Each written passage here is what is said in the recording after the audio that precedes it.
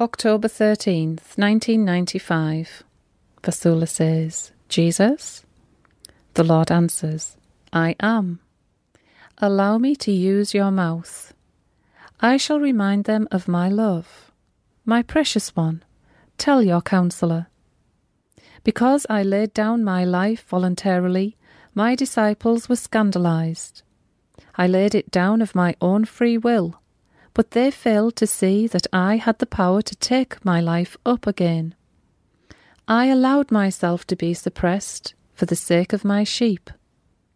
I have told you this so that your understanding may be complete. The footnote reads It was about how to understand the word suppress in a previous message. As you know, I have adopted Vassula so that in her I may be glorified. And as I had sent others before her into the world, I am sending her now into this world imbued in iniquity. Her journey will not be easy. The footnote reads, I heard also, at the same time, it is not easy, because the Father wished it that way, for his greater glory. Watch over her with the same eyes I watch over her, May your union reach the perfection I desire from you. Do not let it decay. Love one another as I love you. I beg you, do not use any harshness in any way, my friend, for this grieves my Holy Spirit.